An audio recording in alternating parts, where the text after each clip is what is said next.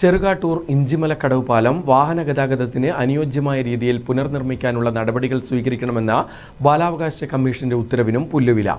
തകർന്ന പാലം വർഷങ്ങൾ കഴിഞ്ഞിട്ടും പുനർനിർമ്മിക്കാത്തതിനാൽ വിദ്യാർത്ഥികൾ അടക്കമുള്ളവർ ദുരിതത്തിലാണ്.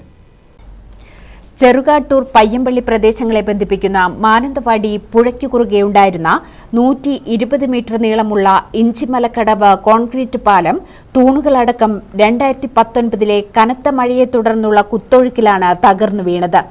തകർന്ന പാലം പുനർനിർമ്മിക്കാത്തതിനെ തുടർന്ന് ദുരിതത്തിലായ Payyampally saint Catherine's higher secondary സ്കൂളിലെ വിദ്യാർത്ഥികളായ ചെറുകാട്ടൂർ തുരുത്തേൽ അബിത റോയ് സാൻഡേയ എലസിൻ ഫിലിപ്പ് എന്നിവർ ചേർന്ന് ബാലാവകാശ സംരക്ഷണ കമ്മീഷന് നൽകിയ പരാതിയെ തുടർന്ന് രണ്ടായിരത്തി ഇരുപത്തിരണ്ട് മെയ്യിൽ പാലം വാഹന ഗതാഗതത്തിന് അനുയോജ്യമായ രീതിയിൽ പുനർനിർമ്മിക്കാനുള്ള നടപടികൾ പൊതുമരാമത്ത് സ്വീകരിക്കണമെന്ന് ഉത്തരവിട്ടിരുന്നു. എന്നാൽ ഉത്തരവിട്ട് വർഷം ഒന്നാകാറായിട്ടും നടപടിയില്ലെന്നു മാത്രം. നൂറുകണക്കിന് വിദ്യാർത്ഥികളടക്കം സഞ്ചരിക്കുന്ന പാലം തകർന്നതിനെ തുടർന്ന് അടിയന്തരമായി താൽക്കാലിക പാലമെങ്കിലും നിർമ്മിക്കണമെന്നാവശ്യപ്പെട്ട് ഒട്ടേറെ പരാതികൾ നൽകിയെങ്കിലും നടപടിയുണ്ടായിട്ടില്ല. പാലം തകർന്ന വഴി മുട്ടിയതോടെ ചങ്ങാടവും കൊട്ടത്തോണിയും ഉപയോഗിച്ചാണ് കോളനിക്കാരടക്കം അക്കരെ ഇക്കരെ കടക്കുന്നത്.